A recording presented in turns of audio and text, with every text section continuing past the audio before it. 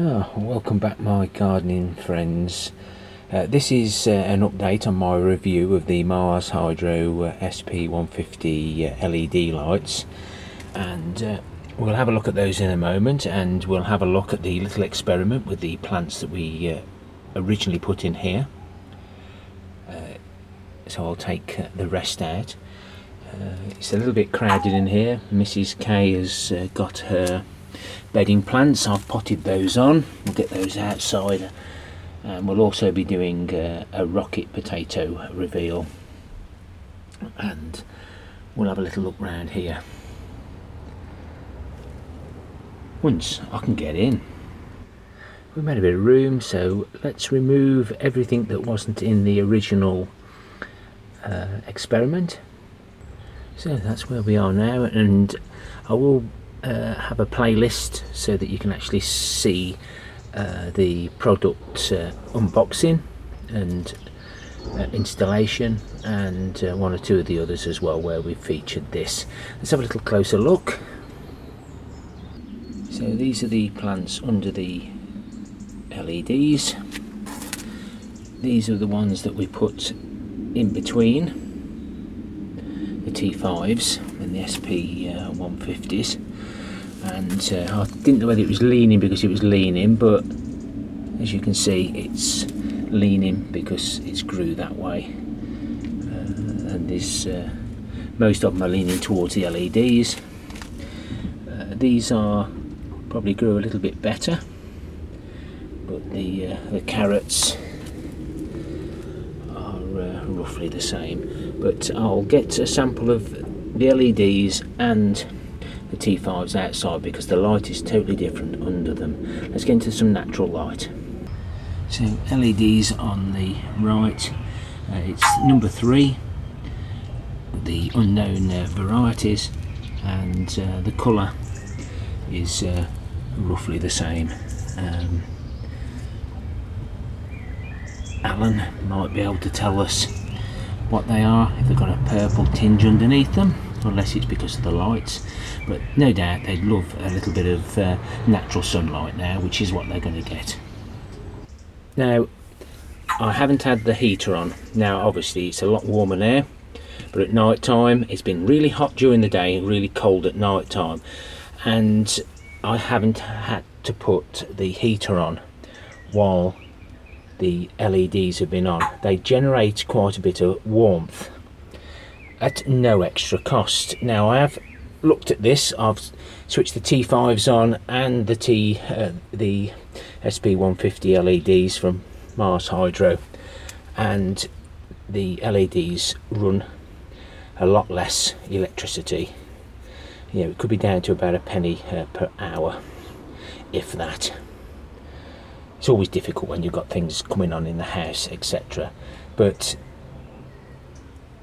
I'm really pleased with them. And uh, if anyone's uh, uh, Mars Hydro would like to know if anyone's interested in some greenhouse LEDs um, if you are leave it in the comments. Uh, they may be sending me uh, some greenhouse ones to try. So we'll look forward to that. So these have got to come out. Uh, we've now got to get some of my courgette cucumber and melon seedlings. They've all chitted, nearly 100%. I've had a 100% success rate.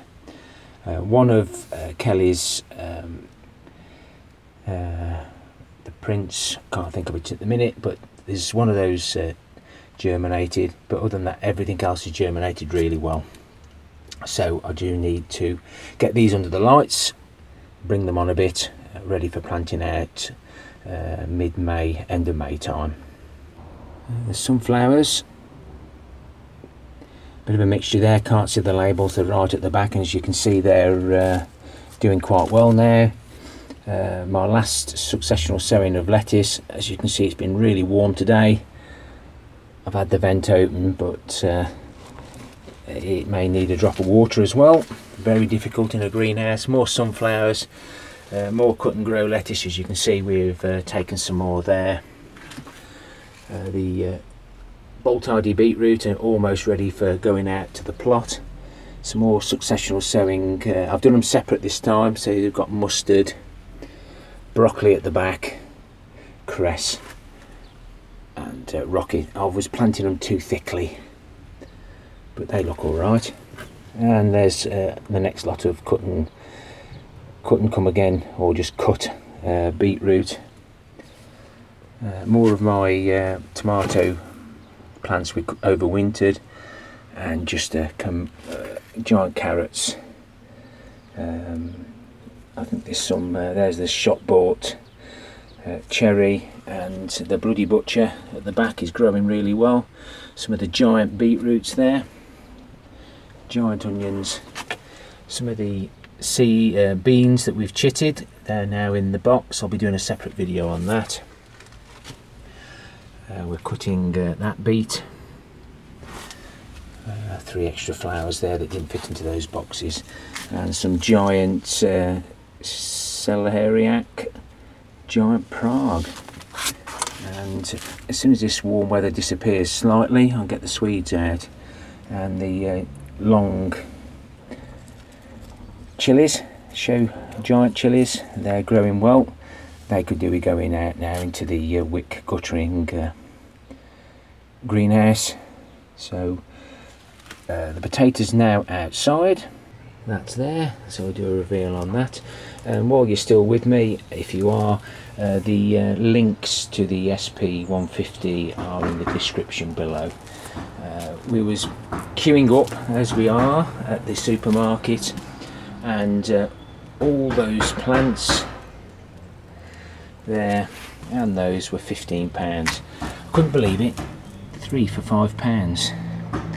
They're quite a price in the uh, garden centre so I'll be taking cuttings of those. And these were the uh, trays that come in. So there's 60 plants there. Uh, and they're normal ones but they are quite quite solid. So I'll get uh, a couple of years out of those. So Mrs King's got her flowers for the garden. I've got some uh, little cell trays there so let's get this potato reveal done. So these are the rockets planted on the second of the first. We're not quite uh, 120 days but uh, Mrs King said she wants some potatoes some, some of these really nice rockets. So I'll uh, get the holes pulled off and emptied out. This bucket feels very heavy. So maybe too much water guys even though those potatoes were ugly. That potato's just started to go soft so I'm not going to replant that.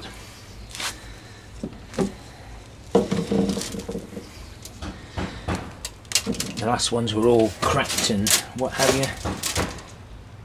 It looks like these could have done with a little bit extra. But they do uh, make for a real tasty potato it doesn't matter how many we get they don't cost me anything uh, to grow. Everything can be used.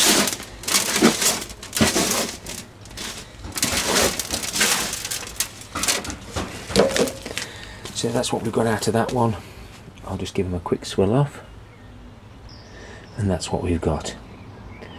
Lovely. We'll enjoy them for our Sunday dinner I'm now going to set up the grow room with the cucumbers, melons, uh, courgettes etc so this is my little trial now this will be the last one this is uh, part three of the LED uh, T uh, micro uh, Mars Hydro um, LED lights. So uh, let's have a little closer look.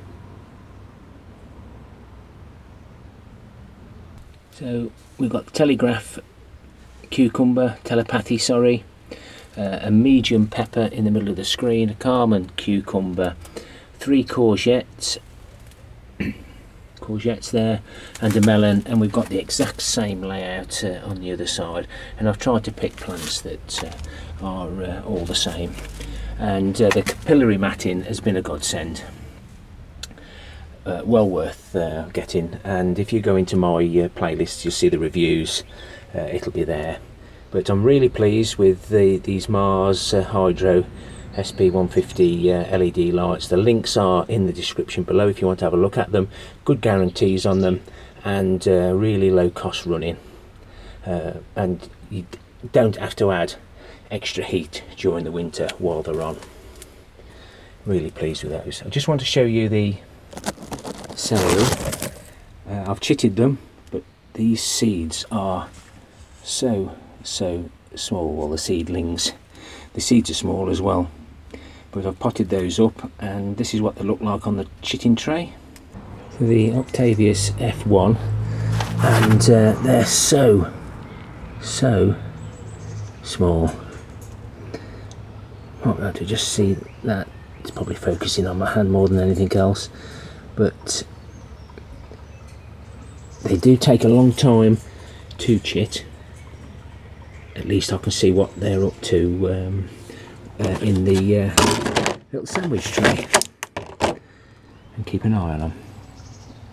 The wing lights uh, in the greenhouse are done very well and having spoken to uh, CB uh, Greenhouse and Garden um, I've used an old uh, lampshade hopefully Mrs King doesn't spot that but now uh, it's movable and adjustable nice and safe because there is some weight in these but um, the review on the wing lights can be seen on uh, uh, CB's um, channel and I'll leave his channel description uh, in the link below. Thank you very much for watching my friends. Uh, if you've uh, liked the content of this video uh, please consider subscribing. Hit the like or dislike button. All interaction we don't mind. And please leave a comment.